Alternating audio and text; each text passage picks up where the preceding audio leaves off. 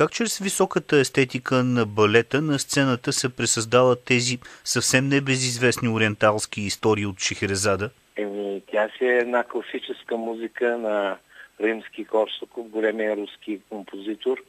Той най-невероятно предава тази ориенталска красота на тази музика, на тези прекрасни звуци, които той е написал. На каква стилистика пък залага танца и сценографията ами, на спектакъла? Хореографията е на неокласиката, на класически език на танца, нали? специално пък в Шехерезада, т.е. в а, ориенталски стил, нали?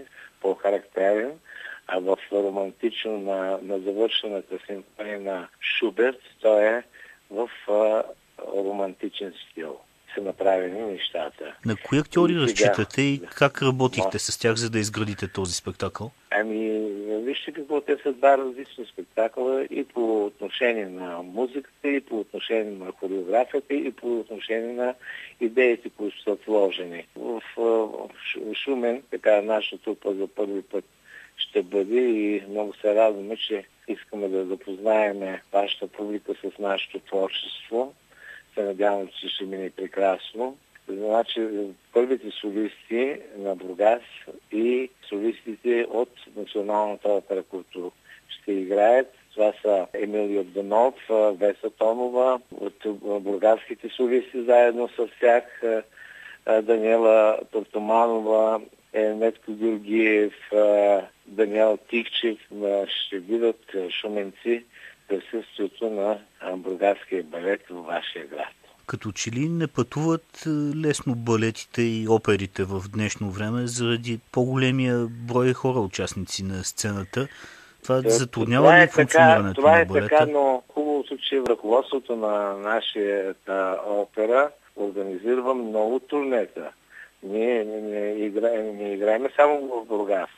Ние обслужваме голяма област от градове в Южна България и в Северна България. Специално за Шумен за първи път пътуваме, нали? но там в Кабарна, в Бълшик, в Разград, в Сливен, в Търговище и имали сме много спектакли. А тази среща ще бъде много ценна за всички деца, които посещават балетните школи в Шумен. Те не са една да. и две, няколко са за щастие. Еме, те, разбира се, те за първи път тези деца ще видят а, на сцената своите мечти реализирани, защото наистина в България има, в всеки град има на балетни школи, защото аз самият преподавам в Пловдив в Академията за музикално танцово и изобразително изкуство и по вашия край също са завършили хора, които работят в тези школи. Да ви върна към самия спектакъл, с който гостувате.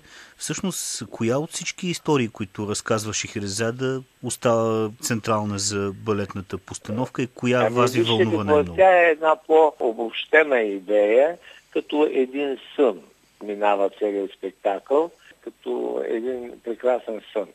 Аз съм го търсил като идея да покажа не, не толкова приказката, колкото а, красотата на обстановката, на музиката, на, на танците, на архитектурата на танца. Повече така съм наблегнал на това нещо, отколкото да се придържам към самите приказки на Шехерезада.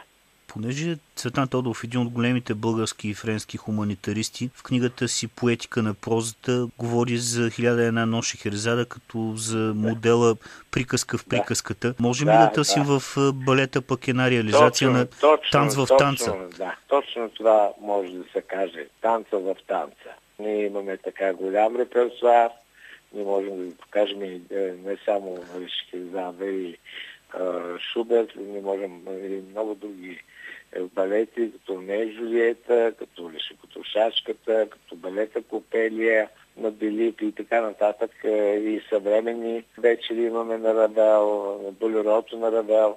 Тъй, че мисля, че ни предстои това в бъдеще.